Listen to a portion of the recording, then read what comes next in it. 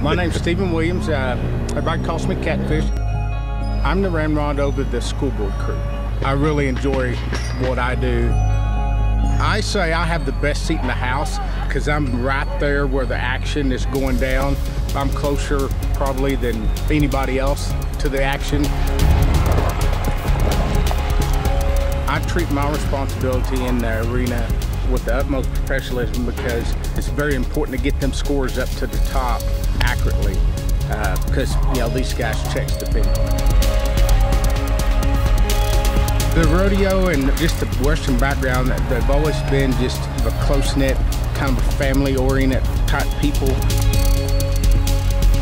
I'd like for me to be remembered by if they reach out to Catfish, Catfish is there. That's what my dad and my grandpa instilled in me. And so if somebody is in need of help, then I'm there.